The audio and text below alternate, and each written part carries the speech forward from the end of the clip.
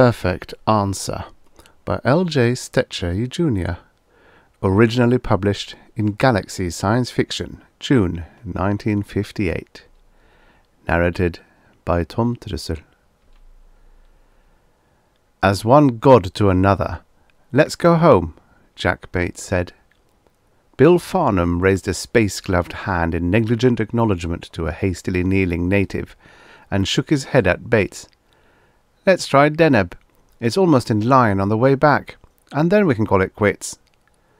But I want to get back and start making some profit out of this. The galaxy is full of Homo sapiens. We've hit the jackpot first trip out. Let's hurry on home and cash in. We need more information. This is too much of a good thing. It doesn't make sense. I know there isn't much chance of finding anything out by stopping at one more solar system, but it won't delay us more than a few weeks, and it won't hurt to try. Yeah, said Bates. But what's in it for us? And what if we find an inhabited planet? You know the chances are about two to one that we will. That'll make thirteen we've found on this trip. Why risk bad luck? You're no more superstitious than I am, said Farnham. You just want to get back Earthside. I'll tell you what, we'll toss a coin for it. Bates gestured futilely toward his coverall pocket, and then remembered he was wearing a spacesuit as a precaution against possible contamination from the natives. I will use one of my coins this time, said Farnham, noticing the automatic motion. I want to have a chance. The coin dropped in Farnham's favour, and the two-man scout ship hurtled itself into space. Farnham operated the compact computer aligning the ship's velocity vector precisely while the stars could still be seen. Bates controlled the engines, metering their ravenous demand for power just this side of destructive detonation, while the ship sucked energy from space, from the adjacent universe on the other side of limbo. Finally, the computer chimed, relays snicked, and the ship slid into the emptiness of limbo as the stars winked out. With two trained men working as a team with a computer and the elaborate engine room controls, and with a certain amount of luck, the ship would drop back into normal space a couple of weeks later, close beside their target. Well, that's that, said Farnham, relaxing and wiping the perspiration off his forehead. We're back once again in the nothingness of nowhere. As I recall, it's your week for KP. Where's the coffee? Coming right up, said Bates. But you won't like it. It's the last of the god food the Korite priests made for us. Farnham shuddered. Pour it out and make some fresh. With a skillet. You stink, but you're a thousand times better than Korites. Thanks, Bates said, getting busy. It was the third place we stopped that there were such good cooks, wasn't it? Nope. Our third stop was the Porandians. They tried to kill us called us devil spawn from the stars. You're thinking of the fourth stop, the Balanites. Bates shrugged. It's kind of hard to keep them all straight. Either they fall on their knees and worship us, or they try to kill us without even asking questions.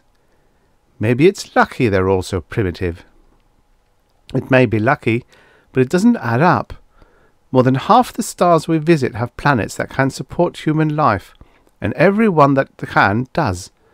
Once there must have been an interstellar empire. So why are all the civilizations so backward?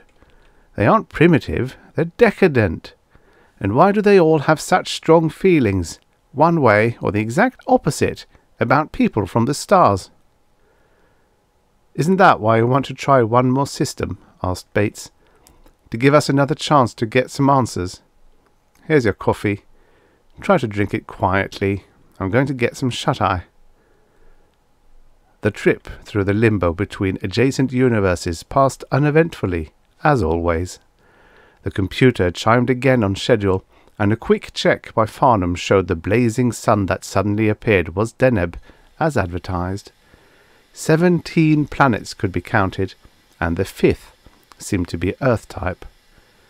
They approached it with the easy skill of long practice and swung into orbit about it. This is what we've been looking for, exclaimed Farnham, examining the planet through a telescope. They've got big cities and dams and bridges, They're civilized. Let's put the ship down. Wait up, said Bates. What if they've got starman phobia? Remember, they're people, just like us. And with people, civilization and weapons go together. I think you got it backwards. If they hate us, we can probably get away before they bring up their big artillery. But what if they love us?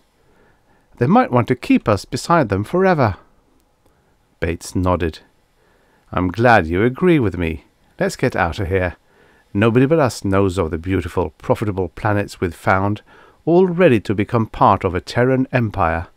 And if we don't get back safe and sound, nobody will know. The information we've got is worth a fortune to us, and I want to be alive to collect it. Sure, but we've got the job of trying to find out why all those planets reverted to barbarism. This one hasn't. Maybe the answer's here. There's no use setting up an empire if it won't last. It'll last long enough to keep you and me on top of the heap. That's not good enough. I want my kids, when I have them, to have their chances at the top of the heap too. Oh, all right. We'll flip a coin then. We already did. You may be a sharp dealer, but you never welch on a bet. We're going down. Bates shrugged. You win. Let's put her down beside that big city over there, the biggest one, by the seashore. As they approached the city, they noticed at its outskirts a large flat plain dotted with gantries. Like a spaceport, suggested Bill. That's our target. They landed neatly on the tarmac and then sat there quietly, waiting to see what would happen. A crowd began to form. The two men sat tensely at their controls, but the throng clustering about the base of the ship showed no hostility. They also showed no reverence, but rather a carefree interest and joyful welcome. Well, said Farnham at last, looks like we might as well go outside and ask them to take us to their leader. I'm with you as usual, said Bates, starting to climb into his spacesuits. Weapons? I don't think so. We can't stop them if they get mad at us, and they look friendly enough. We'll start off with let's be pals routine. Bates nodded. After we learn the language, I always hate this part. It moves so slowly. You'd think there'd be some similarity among the tongues on different planets, wouldn't you? But each one's entirely different. I guess they've all been isolated too long. The two men stepped out on the smooth plain, to be instantly surrounded by a laughing, chattering crowd. Farnham stared around in bewilderment at the variety of dress the crowd displayed. There were men and women in togas, in tunics, in draped dresses and kilts, in trousers and coats. Others considered a light cloak thrown over the shoulders to be adequate. There was no uniformity of style or custom. You pick me a bossman out of this bunch, he muttered to Bates. Finally, a couple of young men, glowing with health and energy, came bustling through the crowd with an oblong box which they set down in front of the Earthman. They pointed to the box, and then back at Farnham and Bates, laughing and talking as they did so. What do you suppose they want us to do? Farnham asked. One of the young men clapped his hands happily and reached down to touch the box. What do you suppose they want us to do? asked the box distinctly. Ah, a recording machine. Probably to help with language lessons. Might as well help them out. Farnham and Bates took turns talking at the box for half an hour. Then the young man nodded, laughed, clapped his hands again, and the two men carried it away. The crowd went with them, waving merrily as they departed. Bates shrugged his shoulders and went back into the ship, with Farnham close behind. A few hours after sunrise the following morning, the crowd returned, as gay and carefree as before, led by the two young men who had carried the box. Each of these two now had a small case, about the size of a camera, slung by a strap across one brawny shoulder. As the terrestrials climbed out to meet them, The two men raised their hands, and the crowd discontinued its chatter, falling silent except for an occasional tinkle of surprised laughter. Welcome, said the first young man clearly. It is a great pleasure for us to have our spaceport in use again. It has been many generations since any ships have landed on it. Farnham noticed that the voice came from the box. Thank you for your very kind welcome, he said. I hope that your traffic will soon increase. May we congratulate you, by the way, on the efficiency of your translators. Thanks, laughed the young man. But there was nothing to it. We just asked the oracle, and he told us what we had to do to make them. May we meet your oracle? Oh, sure, if you want to. But later on. Now it's time for a party. Why don't you take off those clumsy suits and come along? We don't dare remove our spacesuits. They protect us from any disease germs you may have, and you from any we may have we probably have no resistance to each other's ailments. The oracle says we have nothing that will hurt you, and we're going to spray you with this as soon as you get out of your suits. Then you won't hurt any of us. He held up a small atomizer. Farnham glanced at Bates, who shrugged and nodded. They uneasily unfastened their spacesuits and stepped out of them, wearing only their light one-piece coveralls and got sprayed with a pleasant smelling mist. The party was a great success. The food was varied and delicious. The liquors were sparkling and stimulating without unpleasant after effects. The women were uninhibited. When a native got tired, he just dropped down to the soft grass or onto an even softer couch and went to sleep. The earthman finally did the same. They awoke the following morning within minutes of each other, feeling comfortable and relaxed. Bates shook his head experimentally. No hangover, he muttered in surprise. No one ever feels bad after a party, said one of their guides, who had slept nearby. The oracle told us what to do when we asked him. Quite a fellow, your oracle, commented Bates. Does he answer you in riddles like most oracles? The guide was shocked. The oracle answers any questions promptly and completely. He never talks in riddles. Can we go to see him now? asked Farnham. Certainly. Come along. I'll take you to the hall of the oracle. The oracle appeared to live in a building of modest size, in the centre of a tremendous courtyard. The structure that surrounded the courtyard, in contrast, was enormous and elaborate, dominating the wildly architectured city. It was, however, empty. Scholars used to live in this building, they tell me, said one of their guides, gesturing casually. They used to come here to learn from the oracle. But there's no sense in learning a lot of stuff when the oracle has always got all the answers anyway. So now the building is empty. The big palace was built back in the days when we used to travel among the stars, as you do now. How long ago was that? asked Farnham. Oh, I don't know. A few thousand years, a few hundred years. The oracle can tell you if you really want to know. Bates raised an eyebrow. And how do you know you'll always be given the straight dope? The guide looked indignant. The oracle always tells the truth. Yes, Bates persisted.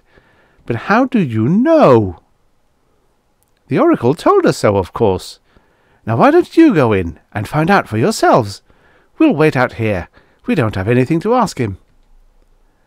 Bates and Farnham went into the building and found themselves in a small, pleasant room furnished with comfortable chairs and sofas. Good morning, said a well modulated voice. I have been expecting you. You're the oracle? Asked Farnham, looking around curiously. The name that the people of this planet have given me translates most accurately as Oracle, said the voice. But are you actually an oracle? My principal function, insofar as human beings, that is, Homo sapiens, are concerned, is to give accurate answers to all questions propounded me. Therefore, insofar as humans are concerned, I am actually an oracle. Then you have another function. My principal function, insofar as the race that made me is concerned, is to act as a weapon. Oh, said Bates. Then you are a machine. I am a machine, agreed the voice. The people who brought us here say that you always tell them the truth. I suppose that applies when you're acting as an oracle instead of as a weapon. On the contrary, said the voice blandly, I function as a weapon by telling the truth. That doesn't make any sense, protested Bates. The machine paused for a moment before replying. This will take a little time, gentlemen, it said, but I am sure that I can convince you. Why don't you sit down and be comfortable? If you want refreshments, just ask for them. Might as well, said Bates, sitting down in an easy chair. How about giving us some Korite god food? If you really want that bad a brew of coffee, I can make it for you, of course, said the voice. But I am sure you would prefer some of better quality. Farnham laughed. Yes, please. Some good coffee, if you don't mind. Now, said the oracle, after excellent coffee had been produced, it is necessary for me to go back into history a few hundred thousand of your years. At that time, the people who made me entered this galaxy on one of their periodic visits of routine exploration and contacted your ancestors. The race that constructed me populates now, as it did then, the Greater Magellanic Cloud. Frankly, the Magellanic race was appalled at what they found. In the time since their preceding visit, your race had risen from the slime of your mother planet and was on its way towards stars. The speed of your development was unprecedented in millions of years of history. By their standards, your race was incredibly energetic, incredibly fecund, incredibly intelligent, unbelievably warlike, and almost completely depraved. Extrapolation revealed that within another fifty thousand of your years you would complete the population of this galaxy and would be totally unstoppable. Something had to be done, fast. There were two obvious solutions, but both were unacceptable to my makers. The first was to assume direct control over your race and to maintain that rule indefinitely, until such time as you changed your natures sufficiently to become civilizable. The expenditure of energy would be enormous, and the results probably catastrophic to your race. No truly civilized people could long contemplate such a solution. The second obvious answer was to attempt to extirpate you from this universe as if you were a disease, as, in a sense, you are because your depravity was not total or necessarily permanent, this solution was also abhorrent to my makers and was rejected. What was needed was a weapon that would keep operating without direct control by my people, which would not result in any greater destruction or harm to humans than was absolutely necessary, and one which would cease entirely to operate against you if you changed sufficiently to become civilizable to become good neighbors to my makers. The final solution of the Magellanic race was to construct several thousand spaceships, each containing an elaborate computer constructed so as to give accurate answers throughout your galaxy. I am one of those ships. We have performed our function in a satisfactory manner and will continue to do so as long as we are needed. And that makes you a weapon? Asked Bates incredulously. I don't get it. Farnham felt a shiver go through him. I see it. The concept is completely diabolical. It is not diabolical at all, answered the oracle. When you become capable of civilization, we can do you no further harm at all. We will cease to be a weapon at that time. You mean you'll stop telling the truth at that time? Asked Bates. We will continue to function in accordance with our design, answered the voice, but it will no longer do you harm. Incidentally, your phrase, telling the truth, is almost meaningless. We answer all questions in the manner most completely understandable to you, within the framework of your language and your understanding, and of the understanding and knowledge of our makers. In the objective sense, what we answer is not necessarily the truth. It is merely the truest form of the answer that we can state in a manner that you can understand. And you'll answer any question at all? asked Bates in some excitement. With one or two exceptions. We will not, for example, tell you how we may be destroyed. Bates stood up and began pacing the floor. Then whoever possesses you can be the most powerful man in the universe.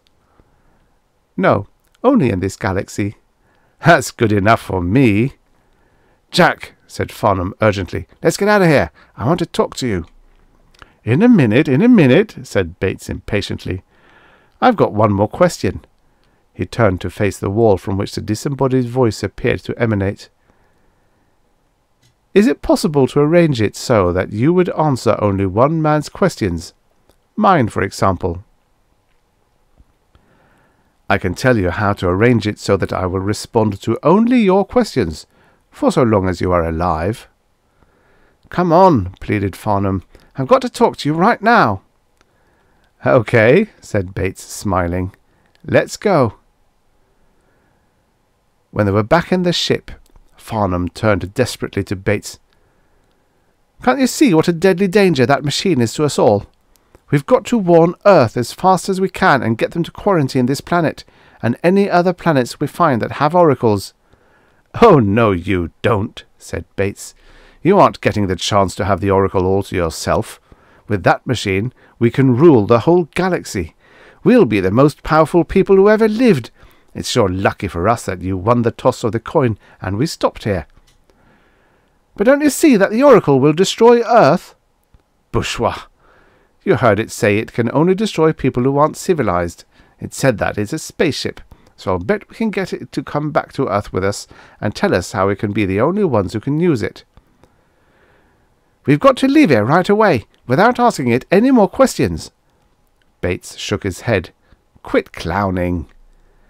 I never meant anything more in my life. Once we start using that machine, if we ask it even one question to gain advantage for ourselves, Earth's civilization is doomed. Can't you see that's what happened to those other planets we visited? Can't you see what is happening to this planet we're on now? No, I can't, answered Bates stubbornly. The Oracle said there are only a few thousand like him. You could travel through space for hundreds of years and never be lucky enough to find one. There can't be an oracle on every planet we visited. There wouldn't have to be, said Farnham. There must be hundreds of possible patterns, all of them destructive in the presence of greed and laziness and lust for power.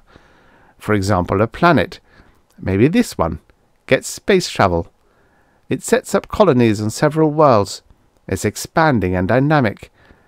Then it finds an oracle and takes it back to its own world. With all questions answered for it, the civilization stops being dynamic and starts to stagnate. It stops visiting its colonies and they drift toward barbarism. Later, Farnham went on urgently, somebody else reaches the stars, finds the planet with the oracle, and takes the thing back home. Can you imagine what will happen to these people on this world if they lose their oracle? Their own learning and traditions and way of life have been destroyed. Just take a look at their anarchic clothing and architecture. The oracle is the only thing that keeps them going downhill and makes sure they don't start back again. It won't happen that way to us, Bates argued. We won't let the oracle get into general use, so Earth won't ever learn to depend on it. I'm going to find out from it how to make it work for the two of us alone. You can come along and share the gravy, or not, as you choose. I don't care, but you aren't going to stop me. Bates turned and strode out of the ship. Farnham pounded his fist into his palm in despair, and then ran to a locker. Taking out a high-power express rifle, he loaded it carefully and stepped out through the airlock Bates showed clearly in its telescopic sights, still walking toward the hall of the Oracle. Farnham fired at the legs, but he wasn't that good a shot. The bullet went through the back. Farnham jittered between bringing Bates back and taking off as fast as the ship could go. The body still lay there, motionless.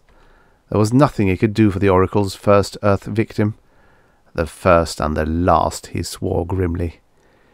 He had to speed home and make them understand the danger before they found another planet with an Oracle, so that they could keep clear of its deadly temptations. The Magellanic race could be outwitted yet, in spite of their lethal cleverness. Then he felt a sudden icy chill along his spine. Alone, he could never operate the spaceship, and Bates was dead. He was trapped on the planet. For hours he tried to think of some way of warning Earth. It was imperative that he get back. There had to be a way. He realized finally that there was only one solution to his problem. He sighed shudderingly and walked slowly from the spaceship toward the hall of the Oracle, past Bates's body. One question, though, he muttered to himself. Only one.